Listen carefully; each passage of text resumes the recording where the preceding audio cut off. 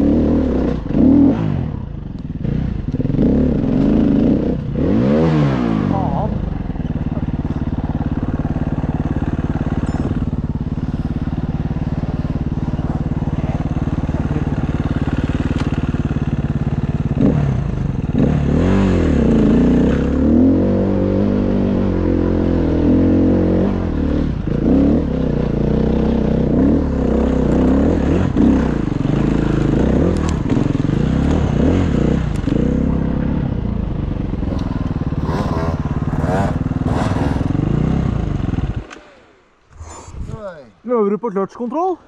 Ja. Det er bare å kjøre rett opp, vet du. Ikke akkurat der du står, da, men så lenge du er på Måsan. Det er faen meg så bra grep. Jeg kom opp der forrige helg vi var her. Fikk jeg én tur opp. Han kom opp. Ja, forsøk nummer to i hvert fall. Ja.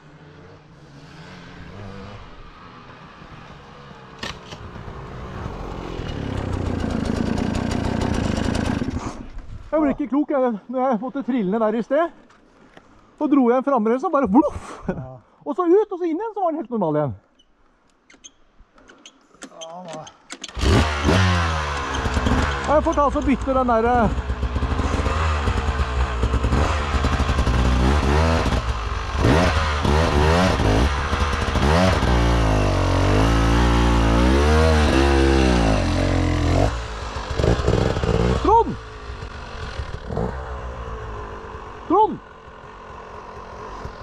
Trond! Det var bra.